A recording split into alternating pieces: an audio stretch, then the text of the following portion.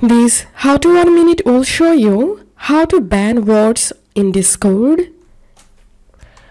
Right now, in this tutorial, we will ban words using MEE6 bot. So first of all, open your browser and type mee6.xyz. Once you're here, you have to add the bot to your Discord server. Click on setup, continue,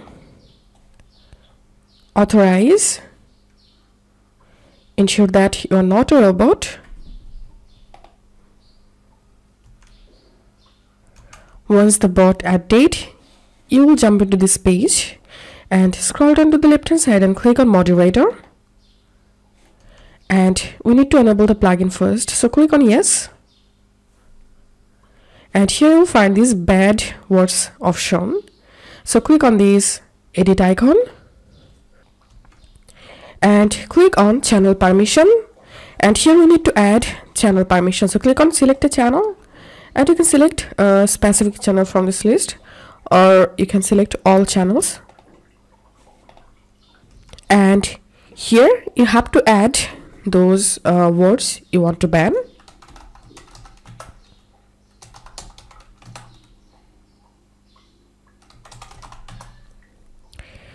and click on save and close. And now click on this disabled drop down option. And I'm gonna select here delete message and word member. Save. So that's how you'll be able to ban words in discord. If this video helped you give a thumbs up and please consider subscribe to how to one minute see you in the next video